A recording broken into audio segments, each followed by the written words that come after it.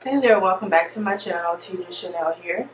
In today's video, I am going to share with you all an answer to a question that I get often, and that is, how do I know what my purpose in life is? Now, this could go either way. So, most people would say that your purpose in life is strictly dependent upon what God says you should do with your life. I personally no longer believe that. There was a point in time that I did believe that, but I no longer do. So, there isn't like one sole purpose that you have for your life. Okay? There, there, it's not just one. Like, for example, my purpose is to teach, um, you know, spiritual principles online. That's just one of them. Uh, my other purpose in life, or another purpose in life for me, is to uh, I created these journals that are changing lives all over, literally the world, because they've been purchased all over the world at this point, which is amazing, right? Um, my other purpose is to raise my children, you know, to take care of myself. So there are many purposes that we all have in this one life. So in addition to, you know, all of those things, um, you know, I let me put it this way. Today my purpose may be, or in this season, my purpose may be to teach online. Maybe this time next year it shifts and I'm no longer online, but I'm teaching in a different way. You get what I'm saying? But nonetheless, I'm still teaching. So whatever it is that you are really excited to do, um, something that you would do for free, which I don't recommend, but would you do this for free, right? Sure, but I'm not. You get what I'm saying?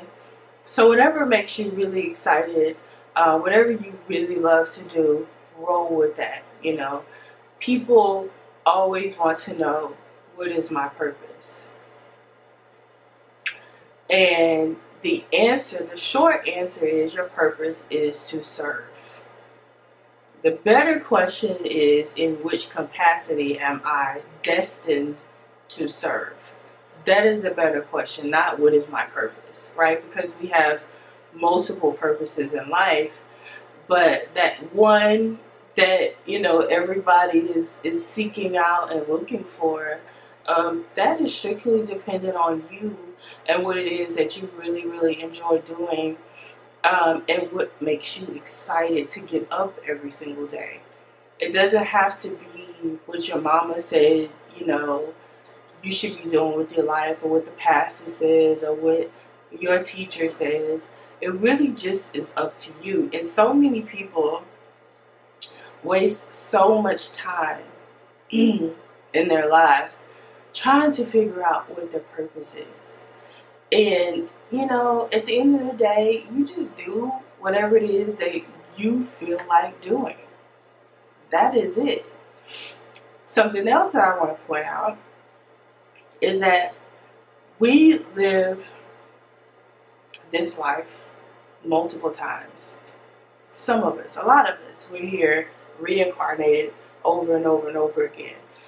Because there is a lesson that we are to learn in life, in our lives, okay? And um, that should, in addition to figuring out what your purpose is, you should also want to know why am I here? Not what I should be doing for a living or any of that, but why am I here? Why am I here again? You know, why why have I been reincarnated again?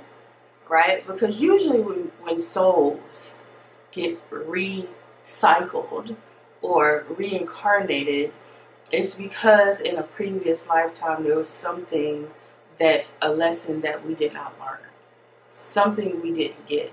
And, and for me, I really believe that is um, to be awakened and to um, experience true enlightenment, right? When you really figure out what's really going around on around you and you know who we are as spirits having a human experience. Like that's like the deeper. That's what you really should want to know. Is like why am I here? Um, what is it that I didn't learn the last 50 lifetimes ago that I need to be trying to figure out now?